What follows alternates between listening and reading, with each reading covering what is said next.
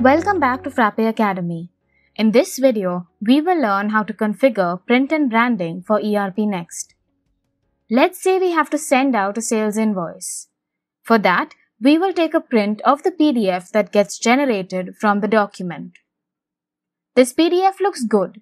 It has all the necessary fields from the invoice that we need here. But the look and feel are still very generic and not specific to my company. How would my customer even know that this invoice has been sent from Frappe Furniture? Any communication, especially written, that goes out of Frappe Furniture should speak for my brand. To achieve that, first and foremost, let us add the company's letterhead here. We will go to letterhead and create the first one.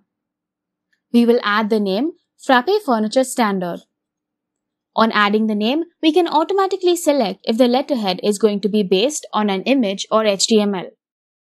We will select letterhead based on image and choose my company logo as the header image. We will make this the default letterhead for my company. On saving this, we can also see the same setting in HTML. Let me go to the sales invoice and check the print preview after enabling the letterhead.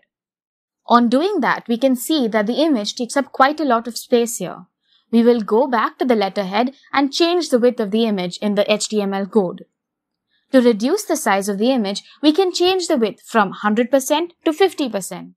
We can of course check the preview here itself or check it in the print preview of the sales invoice.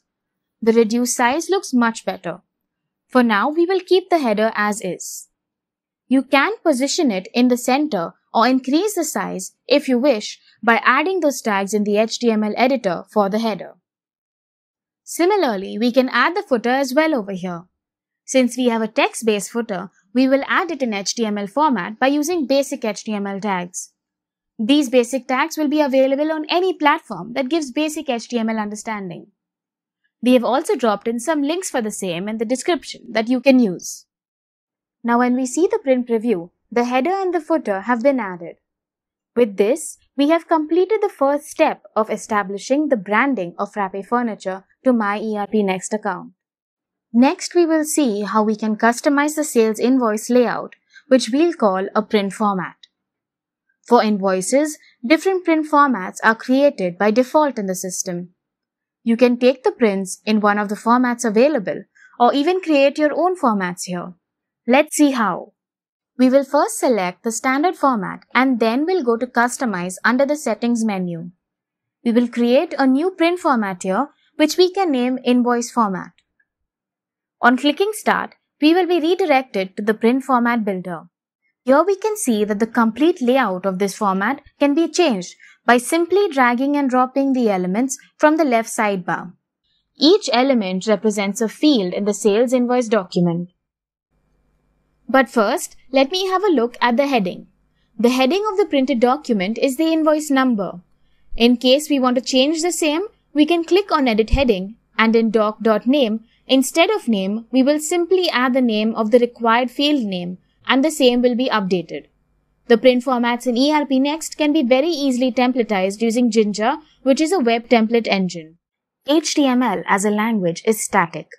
It is great to use when we want to generate a web page to display static information. Jinja comes into the picture when we want to add dynamic elements like a customer name or address. We can use HTML to build the static assets of a print layout and Jinja allows us to use templates to handle that data. The HTML values will be added in angular brackets while the dynamic values will be represented with curly braces. Jinja is used extensively throughout ERP Next and the Frappe framework, especially to define web pages and layouts. We will see more of it in the upcoming sections and videos. You can also read about it from the links given in the description. I will let the header be the invoice number, but in case you want any other field to be the heading of the printed invoice, we can add the field name in this way. To know about doc types and fields, do check out our previous videos. In the layout, we can add or remove any of the sections or fields here. Let's say we do not want the section covering accounting dimensions here. We can remove that by dragging it out. Similarly, we can add the customer shipping address. We also want another section here for tax details. Here, we will add my tax ID as well as the customer's tax ID and the tax breakup in the invoice. Once all the elements are added and removed, we will save this format. If we go back to the sales invoice and use this print format, we can see in the preview that all my required fields are added here. You can create new formats by going onto the print format builder or edit other existing print formats for a sales invoice or any other document type. If we go back to the print format builder, we can also see an edit properties button wherein we can change the settings for this invoice format that we have created. This is the same page as the print format, so you can also retrieve this by looking for print format in the awesome bar. Properties here like section headings, line breaks, font used, etc. can be changed using this form. We can also make this format the default print format for the sales invoices from here. We can also design a custom print format by using templatization. For more control over what we want to show in the documents that get printed out of ERP Next, we can use a custom print format. Let's see how we can create and design a whole new print format. To enable the same, we will be adding a Jinja type format for the new format online order invoice. This will be the print format for the sales invoice that can be sent along with my deliveries for online orders. This will be a tabulated format that should cover delivery address details of the courier service that was used, details of the online order, the dimensions of the package, warranty details of the items, and so on. After adding the required code, we can see the same in the print preview. As we said earlier, anything with the angular brackets will be an HTML tag, whereas anything inside a curly braces will be a dynamic value. Let's start with the letterhead.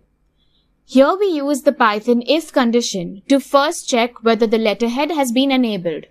So in two conditions, the letterhead will be visible here. One, where the letterhead option has been enabled or 2 if the default letterhead for the invoice has been selected in the document itself. This becomes the first part of the code. Moving further, there are some HTML formatting tags for the heading of the invoice.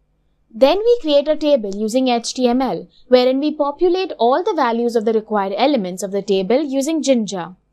For example, in the first section, we add our company name, which gets fetched using Jinja with the string doc.company.